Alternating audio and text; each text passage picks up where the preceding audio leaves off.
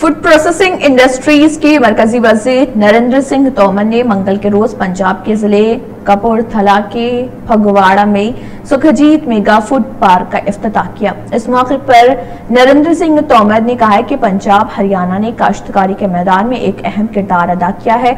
हमें फख्र है कि इन रियासतों के किसानों की अनथक मेहनत की वजह से हिंदुस्तान न सिर्फ़ अनाज के मैदान में खुद कफील है, बल्कि सरप्लस भी है। गंदम और धान में पंजाब सरफहरिस्त रहा है, लेकिन अब जर ज़मीन पानी की सतह को तनो देने की ज़रूरत है, जिसकी वजह से पंजाब के किसान कामयाबी के साथ आगे बढ़े हैं। उन्होंने कहा है कि फ़ूड प्रोसेसिंग पर भी पूरी तवज्जो देने की ज़रूरत है, जिससे काश्तकारों को मुनासिब कीमत मिलेगी, जबकि मुतल इलाकों को भी फ़ायदा होगा। तोमर ने कहा है कि ज़रात में तहकीक को खसूसी अहमियत हासिल है।